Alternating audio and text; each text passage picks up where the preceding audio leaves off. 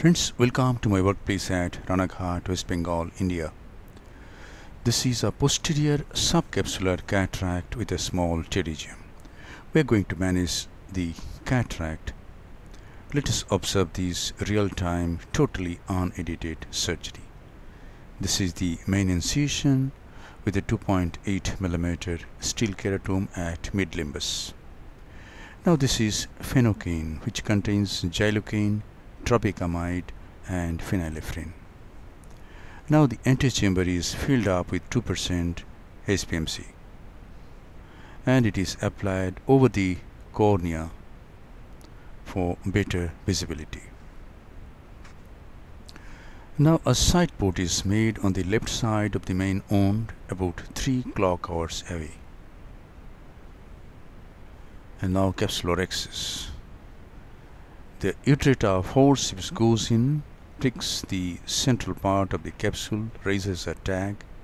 This capsular tag is held and it is guided anti-clockwise all around to get an adequate size rhexis of about 5.75 millimeter.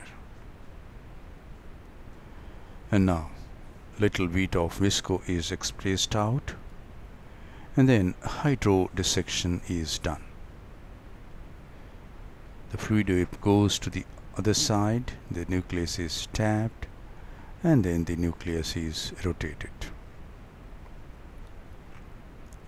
And now I am going to pre-chop this nucleus. Visco, take the pre-chopper in the right hand. This is Dr. Sohail's pre-chopper. Sustainer in the left and here it is. The sustainer hooks the equator. The two instruments come to each other and the nucleus gets divided into two halves. This is division of on heminucleus. Then I rotate and get on to the other heminucleus and divide that also. Come out gently. And now it is very easy to pick up each nuclear fragment and emulsify. In soft cataracts, if we try to hold the nuclear mass with vacuum, we just eat off whatever is in front.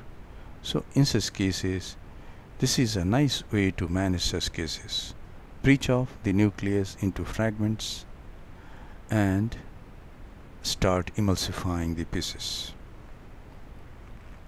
Ultrasonic energy is 50%, flow rate is 35 and vacuum is 400 millimeter of mercury. This is the last nuclear fragment. At this time we may decrease the parameters but in this case I didn't.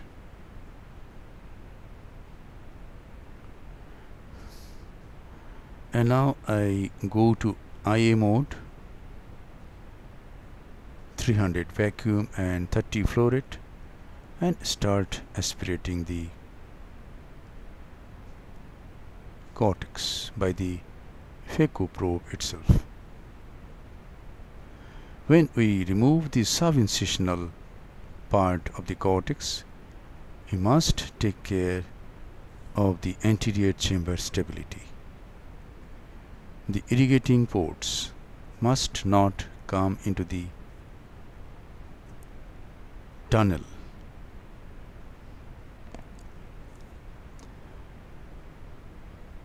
The antechamber and capsular bag is filled up with visco and then a hydrophobic acrylic single piece monofocal intraocular lens from Hoya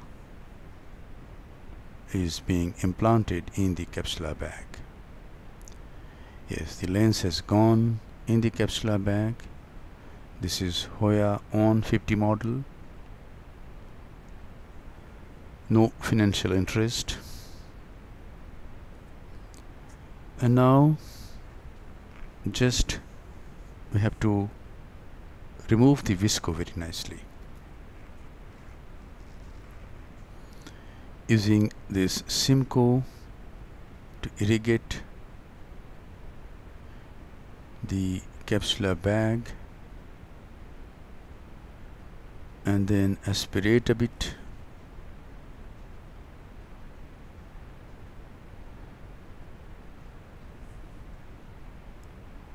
Now I use the bimanual irrigation aspiration probes the irrigating probe goes in.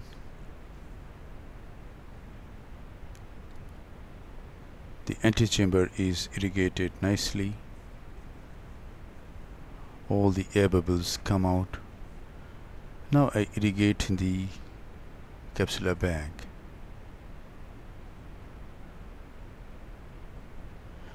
And going behind the IOL I tried to polish the posterior capsule but there is some fibrous tissue kind of thing sticking to the posterior capsule. However it is reasonably clear. We can always use YAG laser to make a capsulotomy if this hinders vision. This is a bit of moxifloxacin.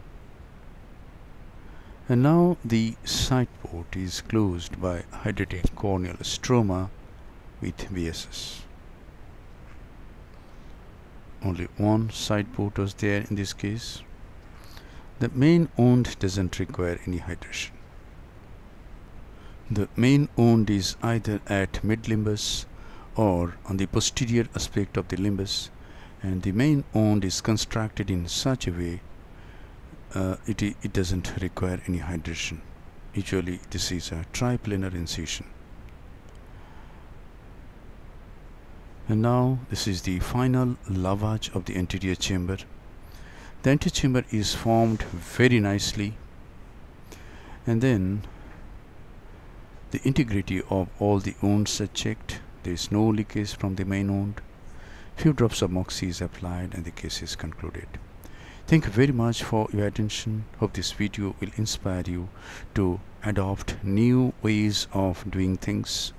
Be a great surgeon and serve your patients with love respect compassion and great surgical competence